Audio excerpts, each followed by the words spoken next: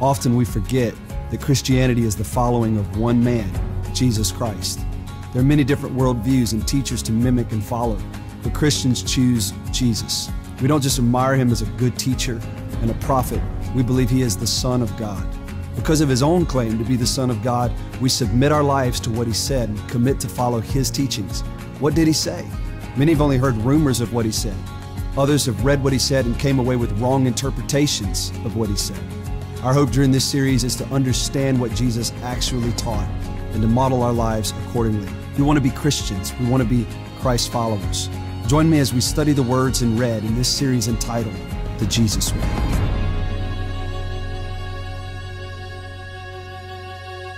I'm so excited about launching this brand new series today called The Jesus Way. And again, I just greet all of our campuses. I love you so much.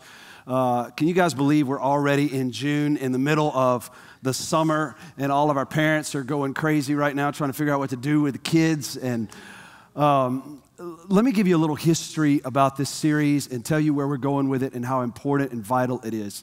A few months ago, I went on a vacation with my family and we rented a motorhome and took it up to the Smoky Mountains. Uh, talk about a chaotic vacation. Uh, I don't know if I recommend it or not. It just, it, it, it was pretty crazy. We had a good time though. And we were driving through the, the mountains of North Carolina. And right about that time, the group ISIS had just started murdering people. And I, it was all in the news. They, would, they beheaded a journalist and and I remember feeling the shock and the horror that many people felt as they would see in the newspaper just these wicked, heinous acts of terrorism. And I started thinking about the contrast between that world of hatred and violence and the world that Jesus Christ represents and the love of Jesus Christ, and how desperately the world needs the message and the teaching of Jesus Christ. Jesus Christ was the face of love to the planet. The world needs Jesus. They're dying, they're hungry for the message of Jesus. And I began to be burdened. What could I do for the Middle East? What could I do? Because you could send money, you can send millions of dollars, and it just goes into a, a, an abyss.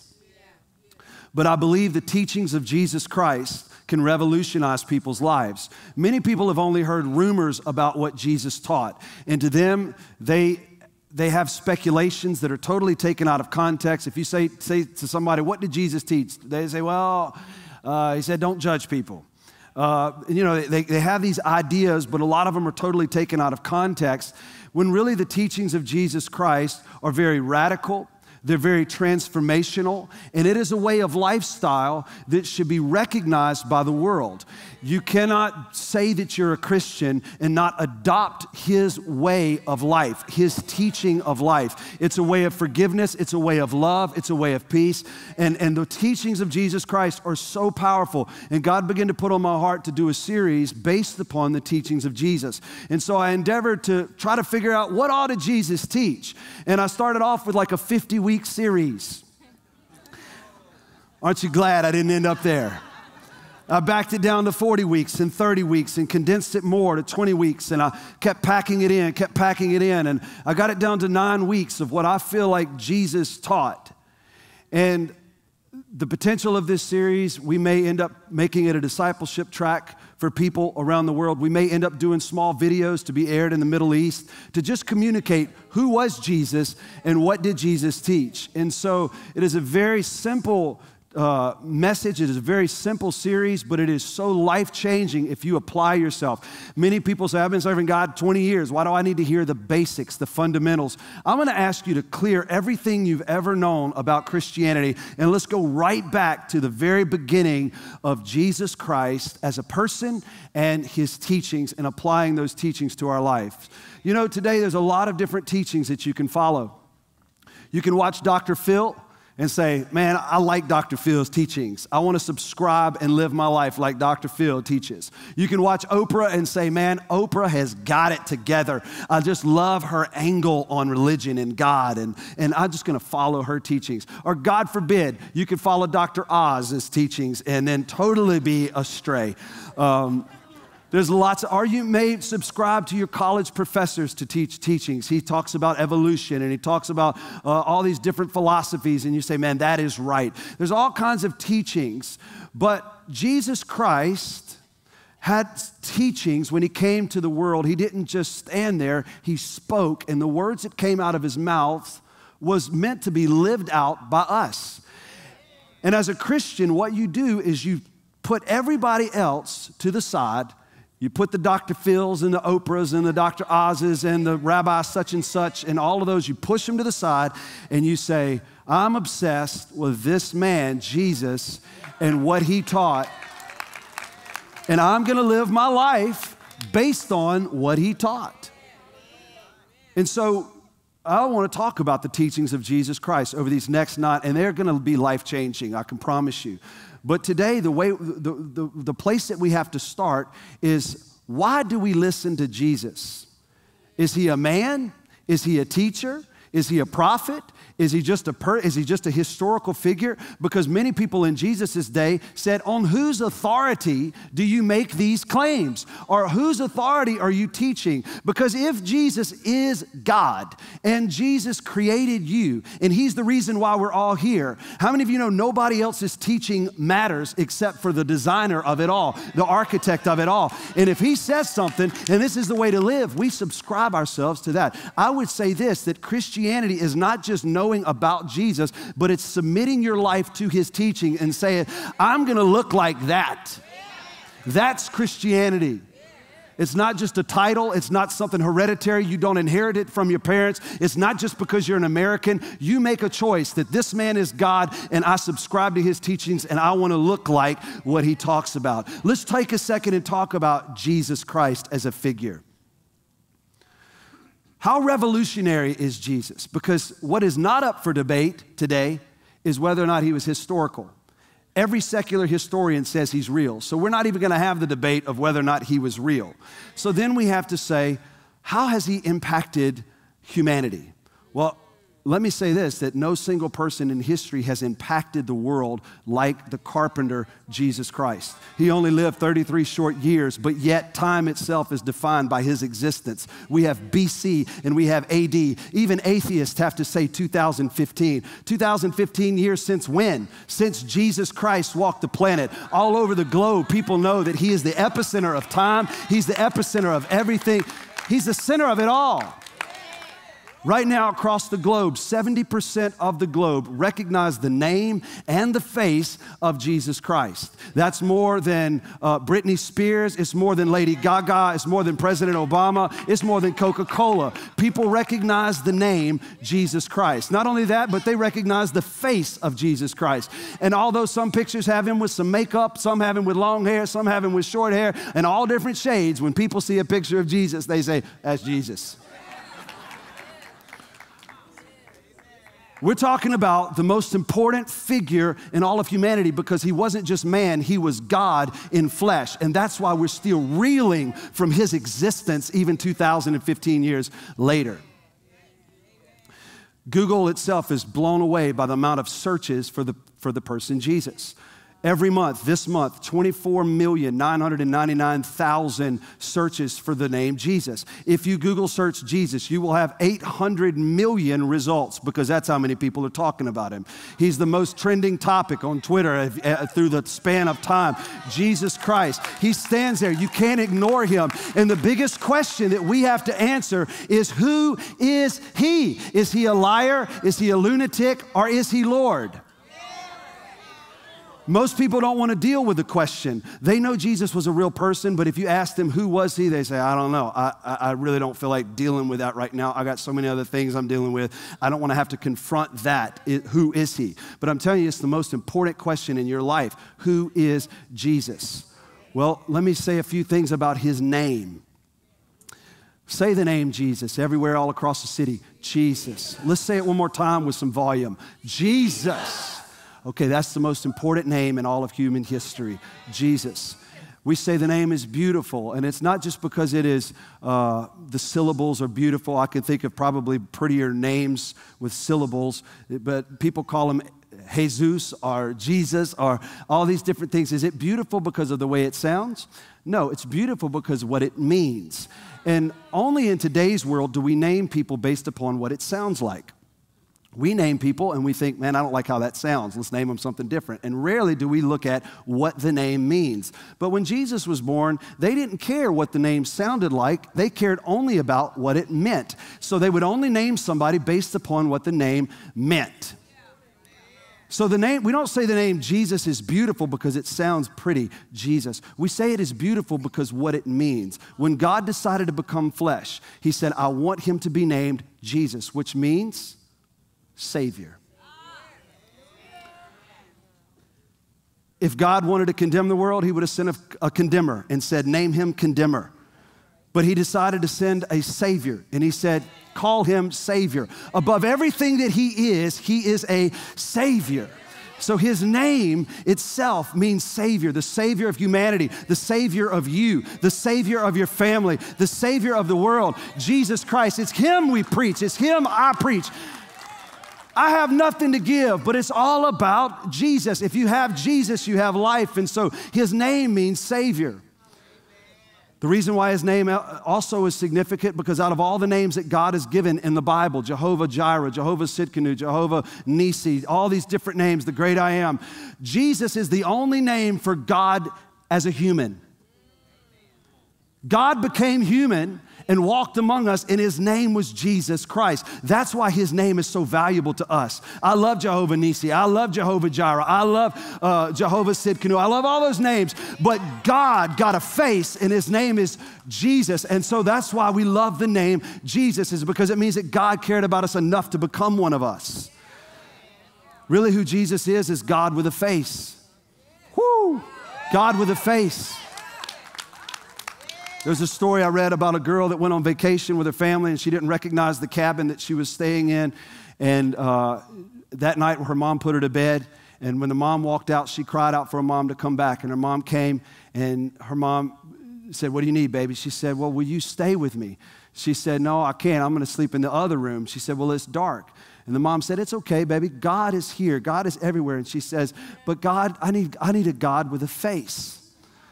And when I read that, I thought about all of us, how we need a God with a face. I mean, it seems like he's so invisible and he's so up there, but God got a face and walked among us, and his name is Jesus. And so, what will you do with Jesus? Why follow his teachings over Dr. Phil's or Oprah's or Oz or any of these guys? Why follow his teachings? Well, it's because he's the Son of God. And I want to read a scripture in Colossians chapter 1 verse 15 that talks about his divinity. If you ever want to know about the divinity of Jesus Christ, this is one of the most potent powerful passages in all of the New Testament that describes his divinity. Christ is the visible image of the invisible God. Paraphrase, he's God with a face. He existed before anything was created and is supreme over all creation. For through him, God created everything in the heavenly realms and on earth. He made the things we can see and the things we can't see, such as thrones, kingdoms, rulers, authorities in the unseen uh, world. Everything was created through him and for him. Guys, you were created through him and for him. He existed before anything else, and he holds all creation together. Christ is also the head of the church, which is his body. Guys, he's the head of this church. We're all assembled here today in his name. You haven't given up your Sunday to come here and sit in a comfortable pew and hear some good music and hang out with some people. You came here today assembled by the head of the church, Jesus Christ. He summoned you, he called you into this place. I'm not the head of this church, he's the head of this church, and he leads and we, he's pulling us all together. He is the beginning, supreme over all who will rise from the dead. So he is first in everything. We're talking about Jesus. Now, let me tell you a story that happened after Jesus ministered for several years. The disciples saw him walk on water, raise the dead, heal the sick, cleanse the lepers. They saw him change water into wine. They saw some crazy stuff. And so it comes to a moment where Jesus is about to go to be crucified, and it's the crux of everything. Jesus has a conversation with his disciples, and this is how it goes in Matthew 16. When Jesus came to the region of Caesarea Philippi, he asked his disciples, So, guys, who are people saying that I am? How are people labeling me? Are they labeling me a good person, a good teacher, a prophet, a miracle worker?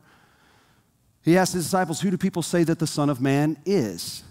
Well, they replied, Some say John the Baptist.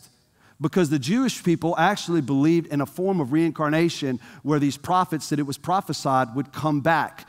And what God was saying through the prophets was a type of that person would come, but they actually believed that that person would come back. So they said it's John the Baptist reincarnated. Some say it's Elijah reincarnated. Others say Jeremiah or one of the other prophets. And then he asked them the most important question for all of us and the most relevant question today is, But who do you say that I am? I want you to ask the person next to you, Who do you say he is? Come on, who do you say he is? And you feel the freedom to answer him if you want to. Well, of course, he's Jesus, but who is Jesus? He's the Son of God. So he said, who, who, do you say that I am? Simon Peter answered, You are the Messiah, the Son of the living God. Jesus replied, You're blessed, Simon, son of John, because my Father in heaven has revealed this to you. You did not learn this from any human being. And then in the next chapter, this is like a week later, Jesus takes his top three disciples up on a mountain. Now, Peter had already said, You are God. I recognize you as God. You're not just a good teacher, you are God. So, this is what happened. Jesus, as the men watched Jesus, uh, he brought, he brought him on a mountain, and then verse 2, as the men watched, Jesus' appearance was transformed so that his face shone like the sun, and his clothes became as white as light. Suddenly, Moses and Elijah appeared, which represents the law and the prophets. And the Jewish people were so hung up on the law and the prophets. They were trying to fulfill the law and they were trying to look forward to the prophets. So those two guys showed up and they began talking with Jesus. Verse 4 Peter exclaimed, Lord, it's wonderful for us to be here. It's like, Peter, shut up, man. Just, just hang out, just chill. You know, always open your mouth. Lord, it's wonderful for us to be here. If you want, I'll make three shelters as memorials one for you, one for Moses, and one for Elijah. But even as he spoke, a bright cloud overshadowed them, and a voice from the cloud said, This is my dearly loved son. So God has spoken about who he is. This is my boy. This is my son. And then he said, Whom brings me great joy. Listen to him. The disciples were terrified and fell face down on the ground. Then Jesus came over and touched them. Get up, he said, don't be afraid. And when they looked up, the law and the prophets were gone, and they saw only Jesus. As a Christian, your identity, you have to push everything else to the side and see only Jesus. This is such a pivotal point. This is so important in your life because you think about all the identities that you have. You have your family identity, you have your racial identity, you have your political identity, you have all these identities that say who you are. But when you become a Christian, everything pushes to the side. This is huge. This is, this is why a lot of people turn away from Jesus because they got their identities and they want to add Jesus into it. They said, come, come and join the party of all of my identity. Jesus is saying, No, I'm everything. My teaching is everything. You take my yoke upon you. And as a believer, you abandon everything and see only Jesus, the Son of God. And you're there in your outline. I have a couple of thoughts. The first is how the Father labeled Jesus. How did the Father God label Jesus?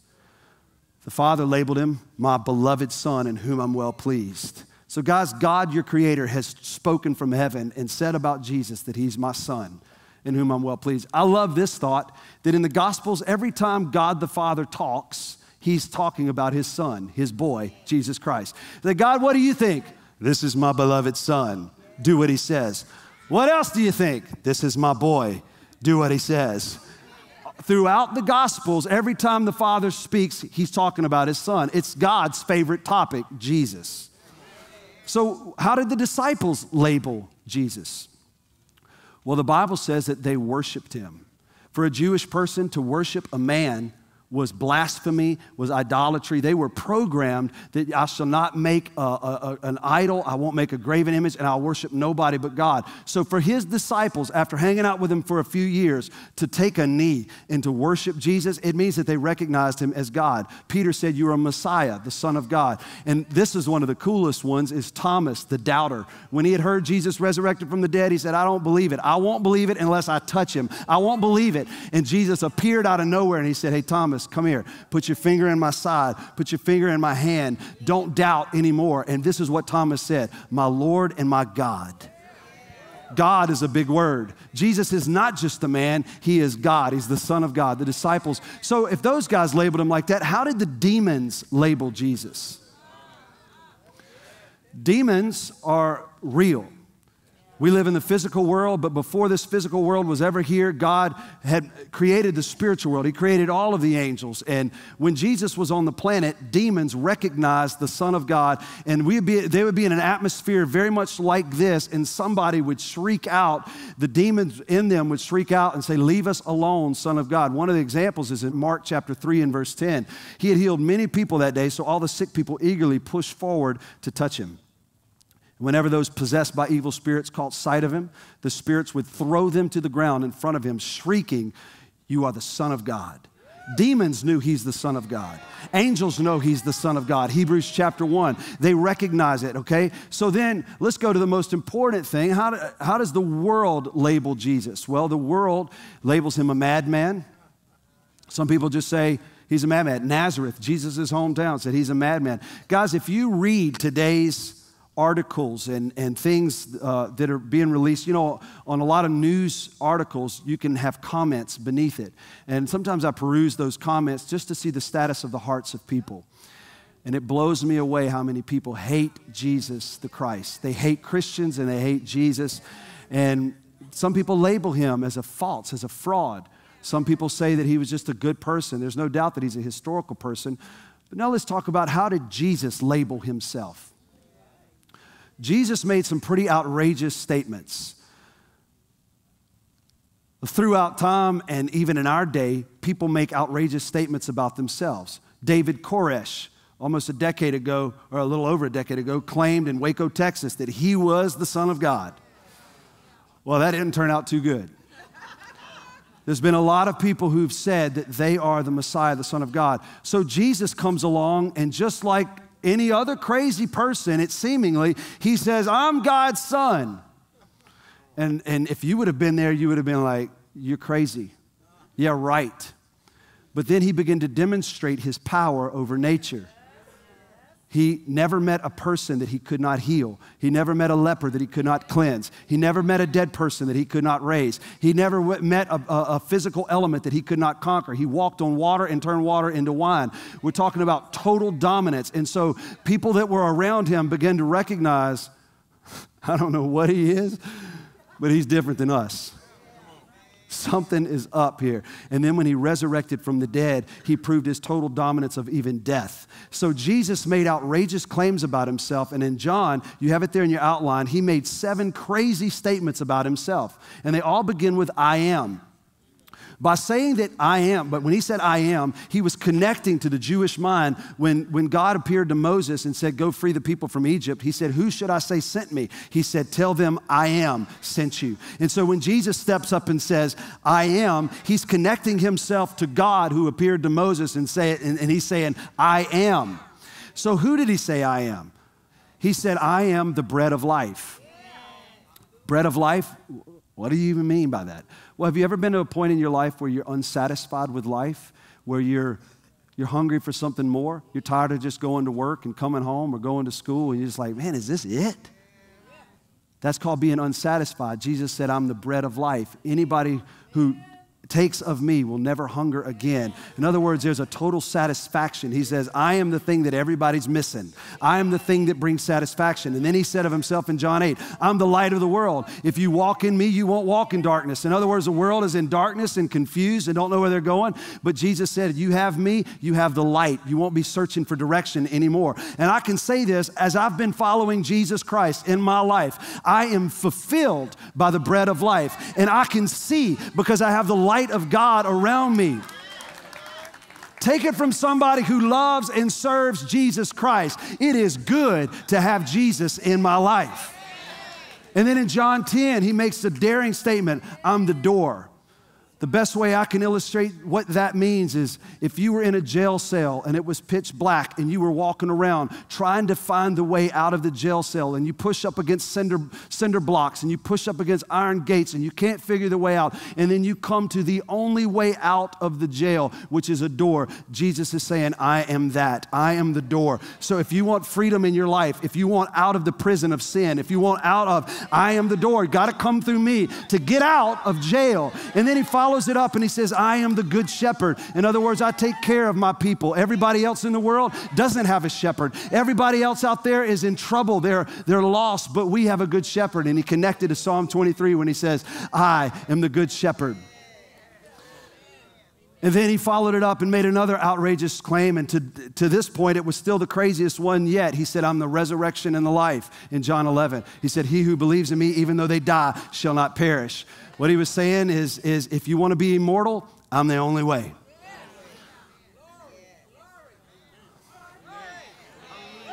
Come on, take a praise break right there. And just praise God.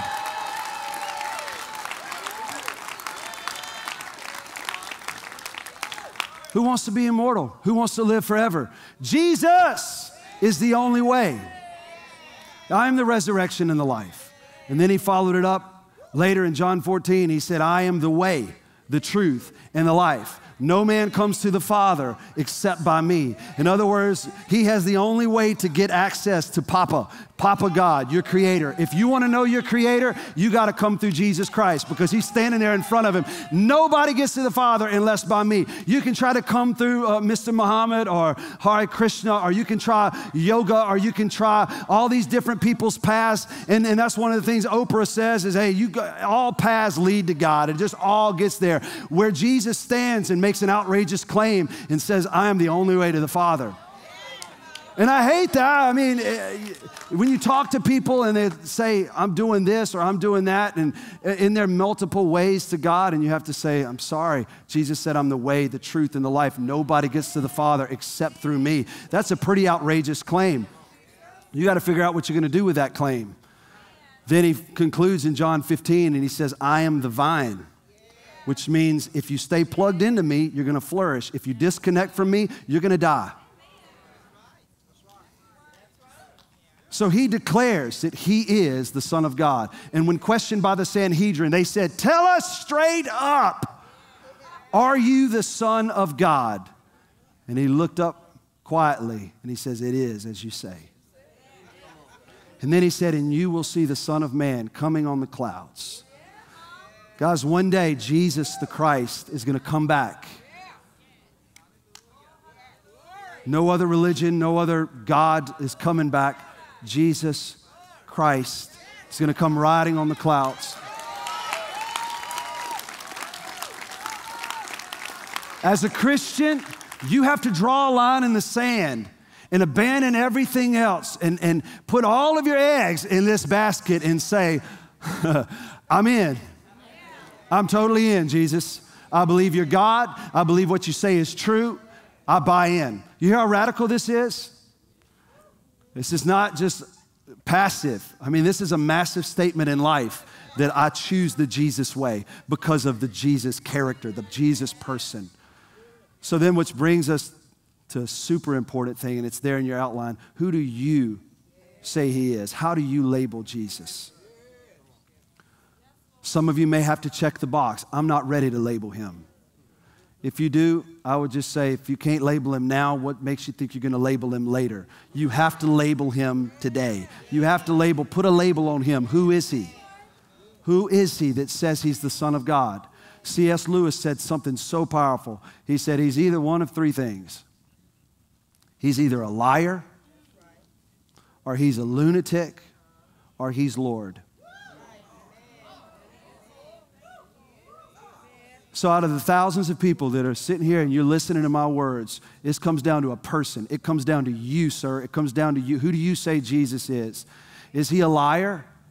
Did he lie about his divinity? Did he lie about everything? Is he a crazy person? I have a hard time believing that a crazy man that only lived 33 years and was a carpenter could change the course of human history. And we're 2015 years later still talking about this person and worshiping him. It would have fallen apart a long time ago if he was a crazy person. So if he's not a liar and he's not a lunatic, then he is Lord and he deserves your worship and your total submission and obedience. So, following the Jesus way comes down to following the person, Jesus Christ, the Son of God. Every time somebody had a revelation that he was the Son of God, they moved from being a friend to all of a sudden bowing down and worshiping him. John, in the revelation, Jesus appeared behind John, and John was friends with Jesus. John was the one that laid his head on Jesus' chest. They were tight, but when he saw Jesus, the Bible said he fell at his feet like a dead person because he recognized the divinity of Jesus Christ.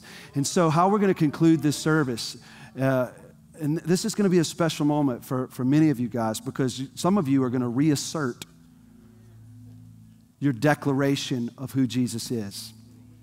He's not just a side item in your life, He's not just something you add to everything else you got. He's it. You're going to reassert Him as Lord, as God.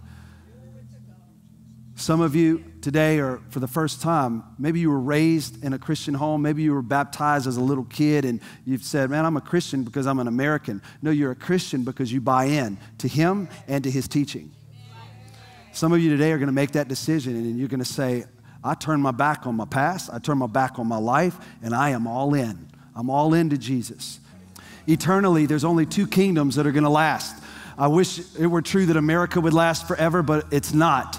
No kingdoms on, on this world are going to last forever. The kingdom of darkness that's separated from God forever will last, and the kingdom of light is going to last. And that king of that kingdom is Jesus Christ. He's the way, the truth, and the life into that kingdom. If you want in the kingdom, you got to come to Him and say, I want in. I don't want to be in that other kingdom. I want to be in this kingdom, the kingdom of God. And so, right now, everybody that's watching, if you're watching on television or you're watching on internet, it's decision time. It's your decision time.